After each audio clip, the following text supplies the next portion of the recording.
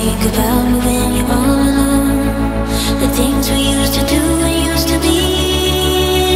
I could be the one to make you feel that way. I could be the one to set you free. So we are here in the VIP area of Kiss and Fly Festival here in Olinda, Brazil. Let me show you guys a little bit around.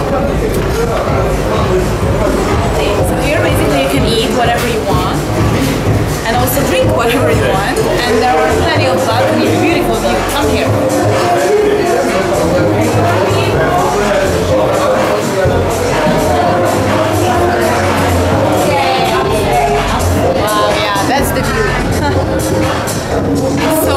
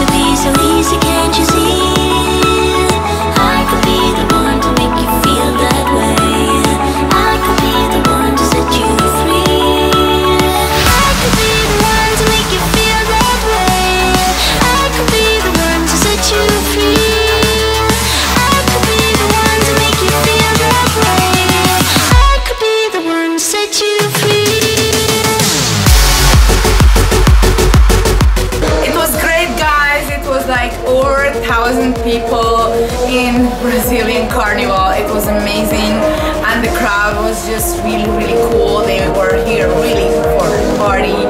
And I had like a two hour set to play before Yves LaRock and he also smashed it. He was really cool. And I really can't wait to come back again because I just love Brazil. See you guys soon. See you. It was a great